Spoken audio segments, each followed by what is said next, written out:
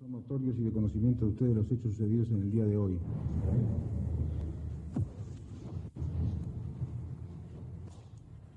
Compatriotas, son notorios y de conocimiento de ustedes los hechos sucedidos en el día de hoy.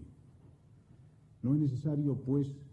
decirles que como consecuencia de los mismos han muerto hombres, unos cumpliendo con su deber y defendiendo hasta el sacrificio de la sociedad que integran, otro pagando con su vida el hecho de haberla defendido desde importantes posiciones públicas, y otros, finalmente, llevados por un extravío incomprensible a la luz de nuestras tradiciones. Es pues con una profunda tristeza que inunda mi espíritu que me dirijo hoy a ustedes. Tristeza que nace no solo del sentimiento de solidaridad con el sufrimiento inocente de nuestros hermanos, sino además en la constatación, una vez más y a un doloroso precio, de la existencia de quienes niegan la paz y la armonía entre los hombres como los caminos para la justicia, y muy especialmente en que ello suceda en un país como el nuestro, con hombres y mujeres como los uruguayos, con un pasado rico en realizaciones sociales y políticas y un futuro también rico en posibilidades de bienestar y felicidad, a poco que todos los hombres comprendan que no es por estos caminos que hoy lamentamos que vamos a lograr aquellos objetivos. Clara, fríamente, la subversión ha pretendido llevar la guerra que desde hace años sacude al país a un nivel de enfrentamiento global.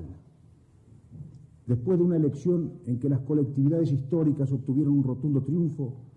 después que el pueblo uruguayo sin dudas de clase alguna dijo su categórica palabra contraria a la subversión, esta procura la conquista del poder por medio de la disolución nacional y del choque armado. La elección estableció claramente que no había ninguna raíz popular en esta subversión,